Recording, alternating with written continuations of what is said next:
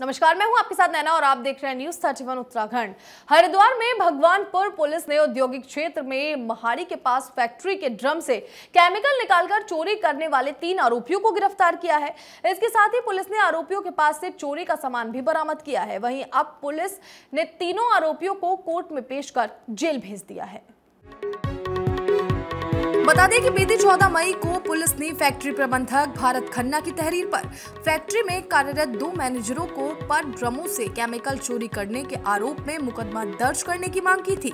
वहीं मामले में पुलिस ने जाँच कर फैक्ट्री के आसपास लगी सीसीटीवी फुटेज खंगाले, जिसके बाद पुलिस ने बीती रात आरोपियों को चोरी किए गए माल के साथ गिरफ़्तार कर लिया। बता दें कि पुलिस ने आरोपियों के पास से अठारह हज़ार की नकदी, चालीस किलो आईपीआई पचास किलो ग्लिसरीन, पाँच बोतल कोलिन और सात बोतल हैंड सैनिटाइजर और समेत दो बोतल फिनाइल और दस ड्रम खाली आईपीई बरामद किए फ़िलहाल पुलिस ने कार्रवाई करते हुए तीनों आरोपियों को कोर्ट में पेश कर जेल भेज दिया है।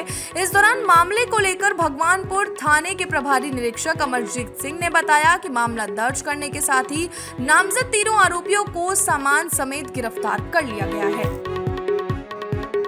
दिनांक चौदह पाँच दो हज़ार बाईस को ये वादी है हमारे भारत खन्ना इनके द्वारा इनकी कंपनी है सविता ऑर्गेनिक्स। तो इन, इन इनके द्वारा ये मुकदमा पंजीकृत कराया गया था कि इनकी कंपनी से ग्लिसरीन कुछ कुछ मतलब चोरी किया जा रहा है और वो ड्रमों में बाहर जाता है और वहाँ से ड्रम ड्रम में से ग्लिसरीन निकाल कर चोरी करके भेज दिया जाता है और वापस उसमें पानी भर के इनके गोदाम में वापस रख दिया जाता है।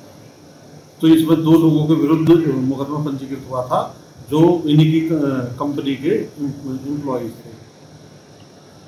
थाने में मुकदमा पंजीकृत किया गया, उसके बाद में इसकी विवेचना आशीष शर्मा जी को दी गई। तो ये इसमें कुल तीन लोगों की गिरफ्तारी हुई है। दो लोग तो नामजद किए गए थे। एक रोहित नाम का व्यक्ति है। जो कि इस इस ग्लिसरीन से अन्य उत्पाद तैयार करता था। तो वो सभी उत्पादों की उत्पादों की बराबरी हुई है।